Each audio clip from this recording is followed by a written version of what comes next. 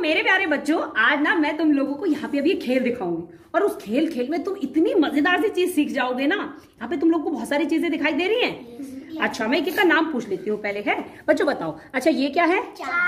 Chart. इस chart का नाम क्या है?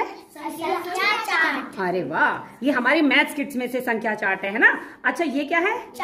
ये भी चार्ट है। और इसका नाम क्या है? गुड़ा के लिए चाट खाने वाली चाट नहीं है ये है अच्छा उसके अलावा यहाँ पे ये क्या दिख रहे हैं?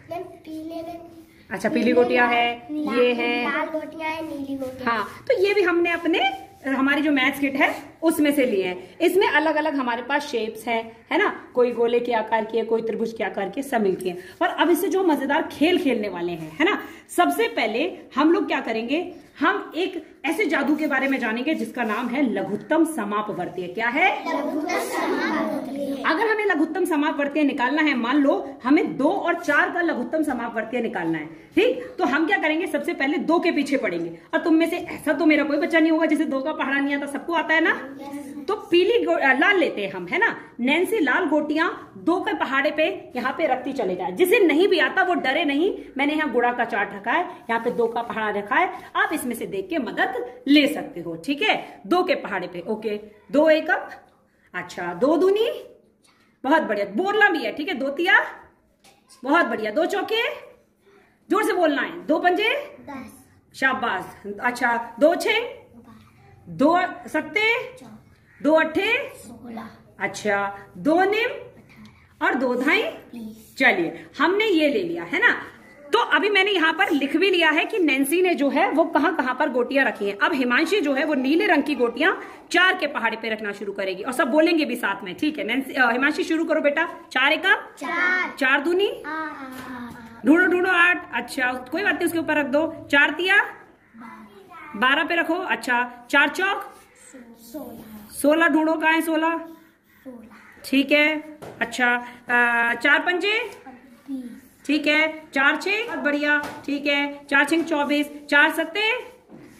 बहुत बढ़िया बोल के करना है बेटा डरना नहीं है बिल्कुल। चार अट्ठे? शाबाश अच्छा चार निम?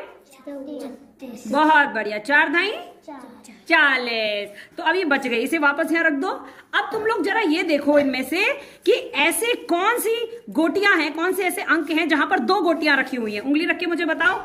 इस पे और इस पे इस पे और इस पे है ना? इन पर दो दो हैं। एक ही खाने में जो है हमारी दो गोटियाँ रखी हुई हैं। अब जहाँ एक एक रखी है उसे हटा दीजिए। जहाँ एक रखी है। अब जो बच्चों जहाँ पर तुम्हारी एक गोटी रखी थी, वो तुमने हटा दी और हमने क्या पता कर लिया? जहाँ पर दो रखी हुई है। अब देखो, ध्यान से समझो। हमने पहले क्या किया? दो के, जो दो का पहाड़ा था, वहाँ पर रखी। यहाँ की दो के जो हमने कॉमन मल्टीपल्स निकाले सबसे पहले। कॉमन मल्टीपल्स दो के कौन से हैं? दो के पहाड़े में कौन सी चीज़ें आती हैं? फिर हमने चार के पहाड़े में जो जो आते हैं, चार के कॉमन मल्टीपल्स निकाले, जो कि क्या निकाले? चार एक, चार। चार दूनी, आठ। चार तिया, बारह। चार चौक, सोलह। चार पंजे, बीस। चार छिंग, चौबीस। चार सत्ते, अट्ठाईस, चार अठे, बत्तीस, चार ने छत्तीस, चार ढाई चालीस। है ना? अब हमें इसमें लघुत्तम समापवर्तीय पता करना है, यानी कि लीस्ट कॉमन मल्टीपल ये हमने मल्टीपल्स निकाले हैं, है ना? अब इसमें लीस्ट कॉमन सबसे छोटा कॉमन कौन सा है? इनमें सबसे छोटा वाला कौन सा है? भाई, ये क्या है?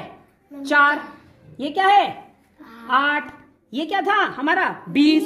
तो इन सब में सबसे छोटा कौन सा है? चार। क्या है? चार। अब चार पे रहने दो और ये हटा दो जब सबसे छोटा ये है तो। है ना? तो हमें पता चल गया कि चार जो है हमारा लीस्ट कॉमन मल्टीपल है। समझ में आ गया? क्या आया हमारा एलसीएम निकल के? क्या आया? चार। चार।